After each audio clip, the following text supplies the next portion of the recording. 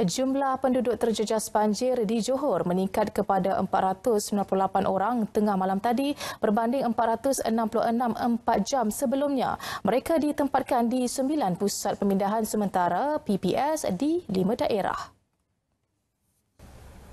PPS yang beroperasi di negeri itu membabitkan daerah Keluang, Pontian, Johor Bahru, Kulai dan Batu Pahat.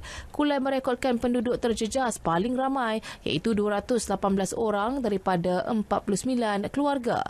151 penduduk terjejas daripada 44 keluarga di Keluang pula ditempatkan di 4 PPS. Masing-masing sebuah PPS beroperasi di Pontian, Batu Pahat dan Johor Bahru melibatkan 130 penduduk daripada 29 keluarga.